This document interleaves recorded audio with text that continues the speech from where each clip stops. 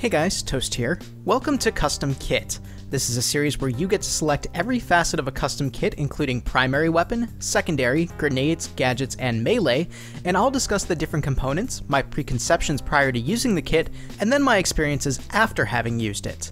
Today's custom kit is courtesy of Yeo Bakyun, my apologies for the likely horrible pronunciation of that, who submitted the I Hate Sniping kit.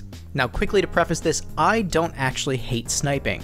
Yeo wrote, I hate sniping.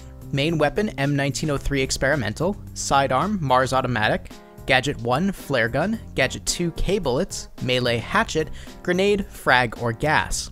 Do you hate sniping but want to rank up your scout class? Well, you've really only got one option, the M1903 experimental.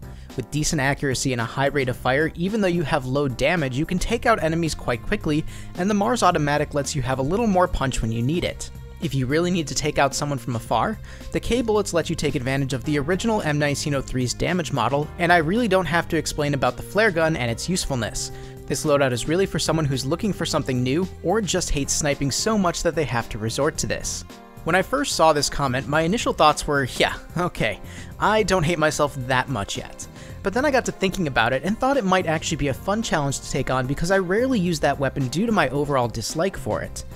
Let's first discuss each of the different components of the kit and how each one influenced my tactics going into this, beginning with the M1903 Experimental. For those of you unfamiliar with this variant, it's like a cross between a light machine gun, self-loading rifle, and SMG, where it has the large magazine of a light machine gun, but the semi-auto fire of a self-loading rifle and the low muzzle velocity of a submachine gun. I'll admit right from the get-go that I was dreading using this weapon. It wasn't so much that I didn't want to have to change my playstyle, I already play Scout rather aggressively, it was more the fact that the weapon plays more similar to the medic self-loading rifles in terms of fire mechanic, but it doesn't have the same power that those weapons have. With a maximum damage of only 23 and a minimum damage of a measly 13.5, that means that the weapon was going to be a 5-shot body shot kill at close range, up to an 8 shot body shot kill at range, assuming I didn't hit any extremities. The redeeming features of this weapon, though, were the rate of fire of 449 rounds per minute, which realistically meant that I could fire as fast as I could pull the trigger, and the large magazine size of 41 rounds meant that I could spam like crazy and still have some rounds left to take advantage of the short reload versus the long reload. I already knew from my previous uses that the iron sights were less than ideal with a small circle to look through and a single prong to line the targets up with, so I had anticipated using hip fire fairly frequently, especially given that I was going to try to put myself in close to mid-range situations where I could best make use of the 23 maximum damage and not have to worry about hitting 8 shots before the enemy simply got annoyed and turned around and killed me. The saving grace to me of this loadout was the Mars Automatic. This is my preferred sidearm in close range situations as it deals a hefty 40 damage up close and a still respectable 23 damage at range with 11 rounds at my disposal. It's my go-to sidearm for the scout class so I was happy to be bringing it along and anticipated using it a lot. Moving on to gadgets, the flare gun is easily one of the most useful gadgets in the game, both to you and your team, so I was happy to make good use of that.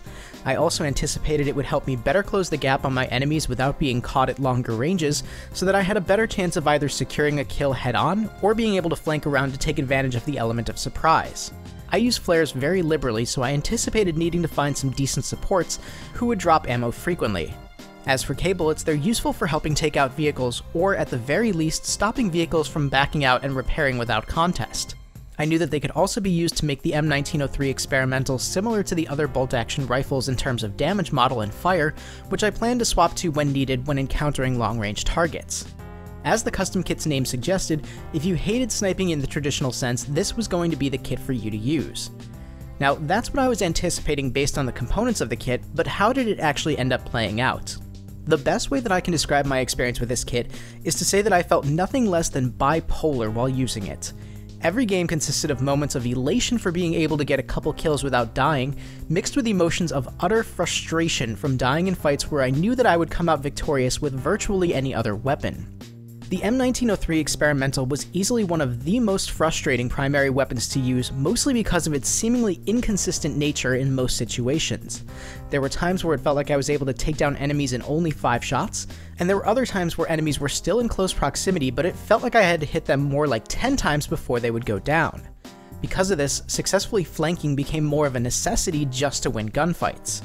Despite the fact that it was frustrating to use, I did find some success with this weapon, albeit in between bouts of cursing its existence and myself for thinking that this custom kit was somehow a good idea.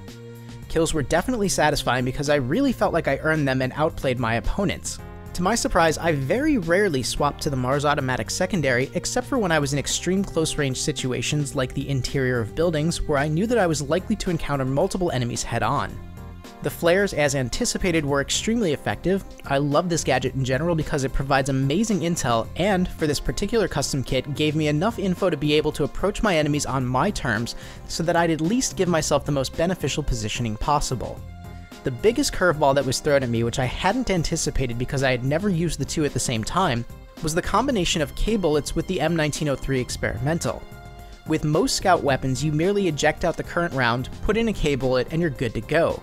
With the M1903 experimental, in order to use the K-bullets, you have to essentially remove the entire magazine feeding mechanism from the weapon and replace it, which forces you to go through a 3 to 4 second animation when you want to swap to and from K-bullets. There were numerous times where I found myself in a position to take some shots in an enemy vehicle, but had to back off to safety to go through the whole animation, only to find that by the time I had finished the animation, that the enemy vehicle was behind cover, which meant I had to go back through the animation again to swap back to regular rounds. Frustrating does not even begin to describe this mechanic, so I cannot recommend enough that should you wish to try out this kit or something similar, Either do not use the K-bullets or ensure that you're never in a situation where you need to access them in any reasonable amount of time. Overall though, despite forcing me to contemplate my own sanity at times, this kit wasn't quite as awful to use as I had initially anticipated, and when the weapon felt like it killed in only 5 bullets, it was actually bordering on fun. If you feel like putting yourself at a disadvantage while playing Battlefield, give this kit a try. It'll certainly challenge you. Thank you again for submitting this custom kit, and if you'd like to see one of your own custom kits featured on a future episode of the series, please leave a comment below with the details of the kit and I'll select one for the next episode. If you've submitted one on a previous video that did not get picked, please know that they're still in the running, but always feel free to either resuggest or suggest a different one as well. If you see a kit in the comments that you think is interesting, please leave a thumbs up on it. As always, if you like the video, please leave a like, and if you want to see more content, please subscribe. Thank you guys so much for watching, this is Toast, and I'll talk to you soon.